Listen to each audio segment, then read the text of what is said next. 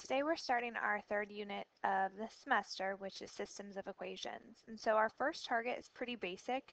It's just kind of recognizing what a solution to a system means um, and getting you thinking about what you already know about systems of equations. So a system of linear equations would be two equations that consist of two variables. And to solve, we need to use both equations. So there's two unknowns, x and y. A solution to a system of linear um, equations is the point of intersection.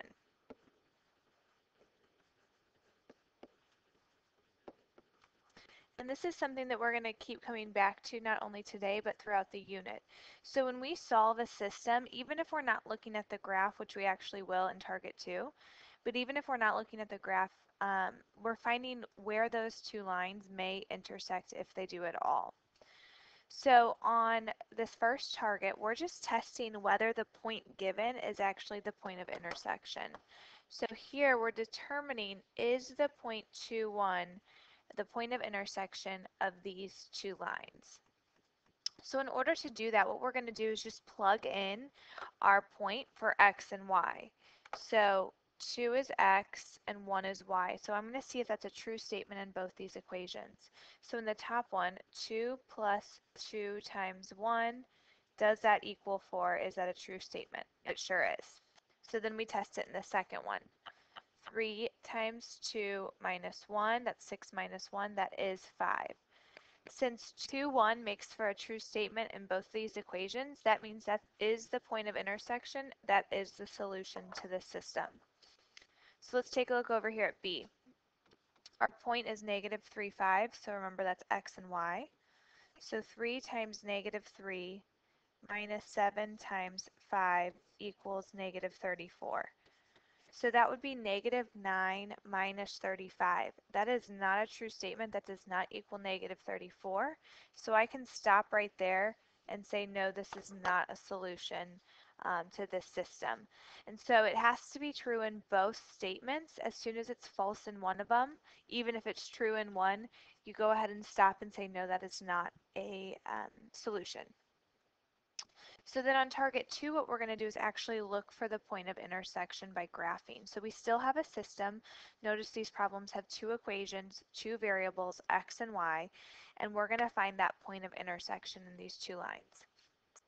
So taking a look at this first one, the first line, y equals negative x plus 3.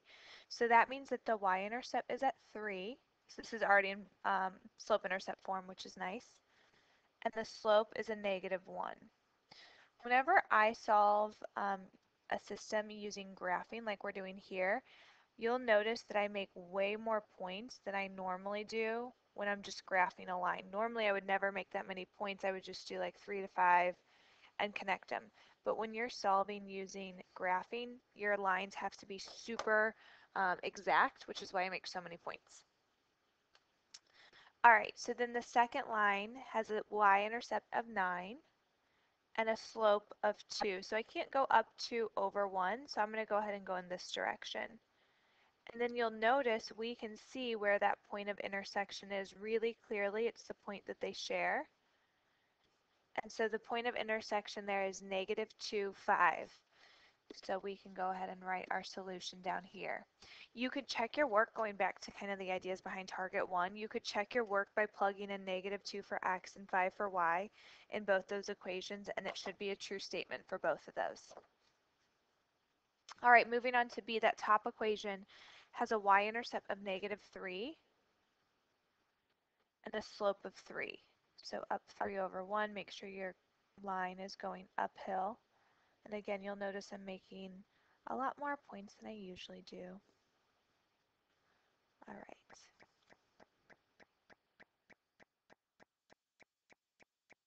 There's my first line. Then the second line has a y-intercept of 4 and a slope of negative 1 half. And so again, we can really clearly see that point of intersection. If you're ever graphing these and you can't clearly see that point of intersection, there's probably a mistake in your work somewhere. Um, they should always cross at these whole pretty numbers. So if you're like, I think it crosses at 2.5, it's probably not the case. You might want to check your lines. So that point of intersection is 2, 3, which is why I wrote the solution as 2, 3. And again, we could check our work by plugging our x and y value back into both those equations. All right, so let's take a look at C. Our first equation is y equals negative 4. So that should be something you recognize as a horizontal line at negative 4. Make that a little bit more exact. So just right across here. I wanted to make points there, I could, but I know it's just a horizontal line at negative 4. Then for our second um, equation, it's not in slope-intercept form, so we have to solve for y. So I'm going to subtract 2x on both sides.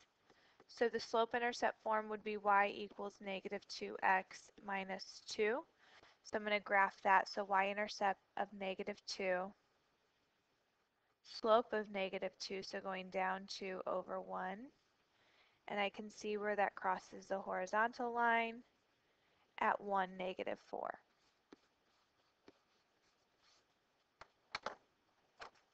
And then for our last one, our top equation is in slope-intercept form already. So 1 half x minus 3, we're going to start at negative 3 with a slope of 1 half. Make sure you're going uphill on this one.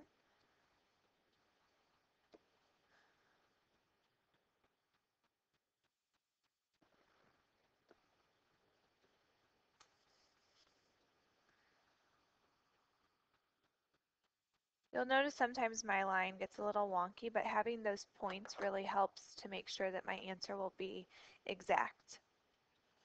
Then I'm going to take this equation up here because I have to put it in slope-intercept form. I have to solve for y. So I'm going to subtract x. So I have negative 2y equals negative x plus 6. And then I'm going to divide everything by negative 2. So I get y equals, and this would be a negative 1x divided by negative 2, which would be a positive 1 half x. So negative divided by a negative is a positive, and that would be minus 3.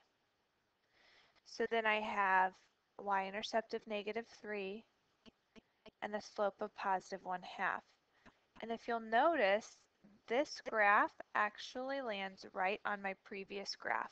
So when we talk about points of intersection, all of their points are points of intersection. So this is a case of infinite solutions. Anything along that line would be a solution.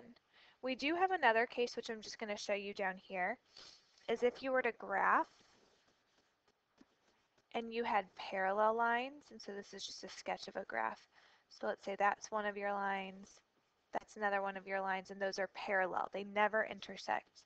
This would be a no solution situation.